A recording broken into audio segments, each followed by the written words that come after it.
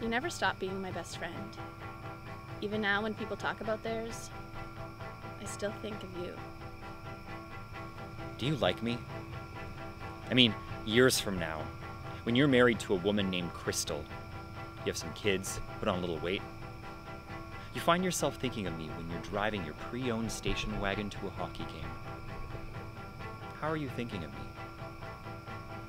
Jesus, you're too good for that mouth breather, Mark. He's the fucking golden boy of the school.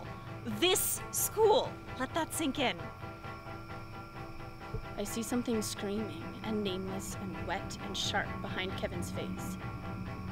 There's a fox staring into the willow tree, seeing something it shouldn't. We've got two options. Either it was that thing we saw in the trees that time, or it was a man. And we both know what happens when little boys and strange men get together in a forest. It's just Kevin. Unremarkable. I just want to take him for granted again.